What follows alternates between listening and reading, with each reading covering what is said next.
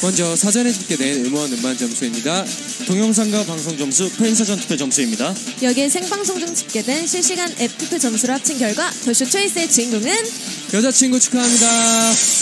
더쇼 초이스 여자친구 소감 들어볼게요. 네, 어, 우선 저희가 벌써 버디가 없는 세 번째 활동인데 버디 너무너무 고맙고 보고 싶다고 말하고 싶고요. 그리고 또 많이 고생해주신 저희 회사 스태프분들과 그리고 저희 샵 스타일리스트 스태프분들 너무너무 감사드립니다. 더 열심히 해서 좋은 모습으로 우리 빨리 만나요. 버디 고마워요.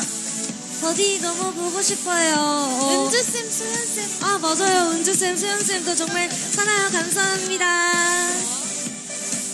네, 앵콜 무대로 버디를 향해 쉬지 않고 하트를 마구마구 보낸다고 하니 기대해 주시고요.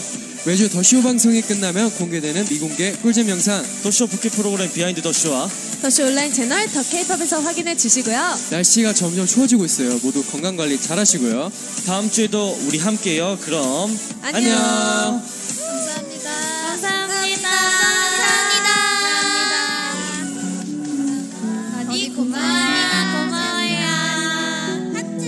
버디 사랑해요?